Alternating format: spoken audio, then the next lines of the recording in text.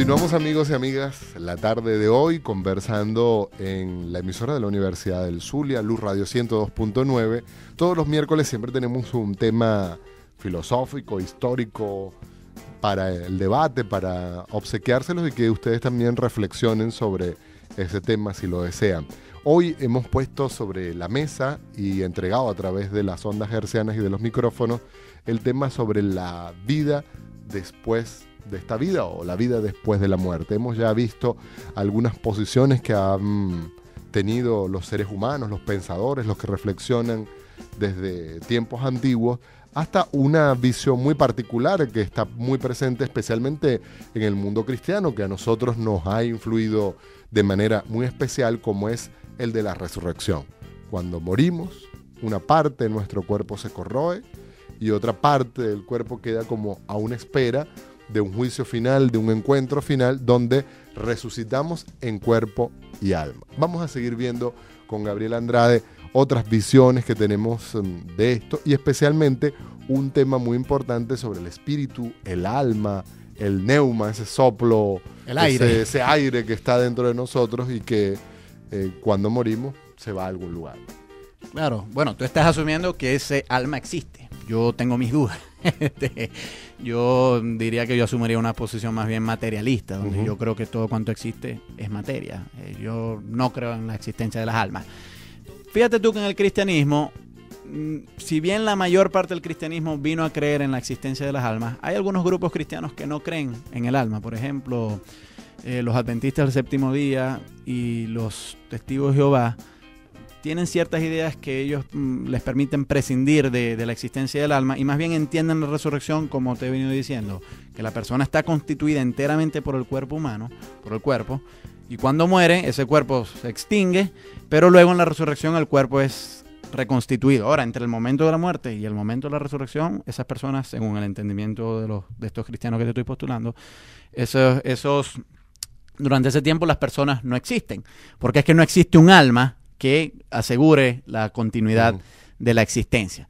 Ese entendimiento que tú has postulado es lo que ha venido a llamarse el dualismo. Y se le llama dualismo porque dice, bueno, la persona humana está constituida, digamos, por dos grandes componentes. Uno es el cuerpo, que es aquellos aquella, mm, elementos que, pueden ser eh, observables. Eh, se puede tocar, se puede oír, se puede oler, etc. Pero además de eso hay un, como un segundo componente, que es una entidad que ha venido a llamarse, como tú muy bien lo has dicho, el alma, y hay, ha habido varias maneras de definir el alma, pero la, manera en que, la que ha venido a prevalecer es aquella que proveyó el filósofo Platón, que es un poquito anterior al cristianismo, y luego el filósofo René Descartes en el siglo XVII, que ellos lo llamaban una entidad, en primer lugar, inmaterial. El alma, según ellos, no se puede ver. Es un poco diferente de la concepción de Gasparín, por ejemplo, o, de Ghost, o, de espíritus que aparecen, la Sayona. La Sayona no sería propiamente un alma, porque si tú puedes ver la Sayona y ver la figura de mujer, ya eso no sería alma en el sentido en que lo han entendido eh, los cristianos dualistas, Platón y Descartes. El alma se supone que es inmaterial y al ser inmaterial no puede percibirse, no puede percibirse. Entonces, este, esa doctrina ha venido a llamarse el dualismo y es aceptada por el común de la gente. O sea, la mayor parte de la gente estima que sí, que como tú muy bien has dicho, hay dos componentes que configuran la, la persona humana y que incluso son separables. Por ejemplo, hay unas novelas famosas, de esto se hizo una película que se llamaba Viceversa, no sé si alguna vez la has escuchado. Es de un padre que tiene un hijo y el hijo quisiera ser como el padre y el padre quisiera ser como el hijo, porque el, padre dice, ay, ¿quién se pudiera levantar, ir al colegio, que estar con los amiguitos? Y el hijo dice, ay, ¿quién pudiera ser un padre y, y, tener responsabilidades a su cargo? Entonces, por algunas cosas del destino, resulta ser que sus almas se intercambian. Entonces, el padre se despierta en el cuerpo del niño y el niño se despierta en el, en el cuerpo del padre. Eso obviamente, esa imaginación presupone esta doctrina dualista que tú estás diciendo, que es posible por lo menos que el alma de una persona se separe del cuerpo y venga a ocupar el cuerpo de, otra persona. Fíjate tú, Alexander, que si bien esa, esa manera de entender a las personas ha sido muy común a, lo largo de la historia, hoy los científicos cada vez más están en contra de ella.